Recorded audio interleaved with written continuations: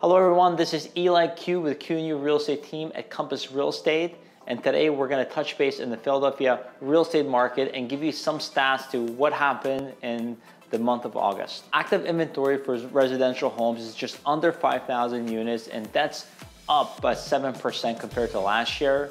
Units sold for the month of August, actually it's down by 19%, which is just around 1,400 units sold this month. The median sales price hasn't changed, it's still at 269,000 and the average days on market has actually risen a bit at 33 days average on market per home. Overall new inventory for the month of August is down by 9% with an inventory of 21 100 new listings come into the market and properties under contract are down by 16% for the month of August with just under 1400 homes going under contract for this month. In August, there was 3.4 months supply for Philadelphia County compared to last year, which is 2.5 months supply. That has risen 32% compared to a year ago. The monthly supply is calculated by dividing current inventory by current sales. It indicates how many months it would take in order to sell all of the current inventory at the current rate. When we look at the sale price to list price ratio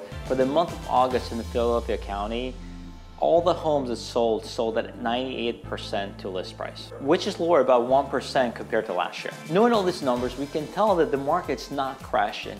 Yes, the interest rates are higher now compared to few months ago, However, we're going to see that transactions are still going to happen in our market. And I predict they'll be that way until sometimes in the end of the next quarter in 2023. But we do know that buyers and sellers still need to transact today. For buyers, what we're noticing that there's less competition, even in multiple offers. Instead of having six or 10 offers as previously, now buyers competing maybe with one other or a third buyer, which is allowing them to put offers that are a good deal for them with home inspection contingency, not having to waive appraisals, and not having to go crazy over list price.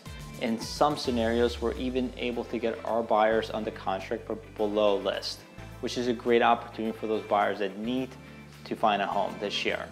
For sellers, this may be the last time that you can have in order to maximize in your potential investment while it's still somewhat of a seller's market and you can take advantage of this by going on the market, positioning your home at the best price so you can get the most that you can from your investment. If you're curious or you want to learn more about the real estate market, reach out to our team and we can do a five to 10 minute Zoom call so we can educate you in the market and possibly even put a plan together for you to get you the best results.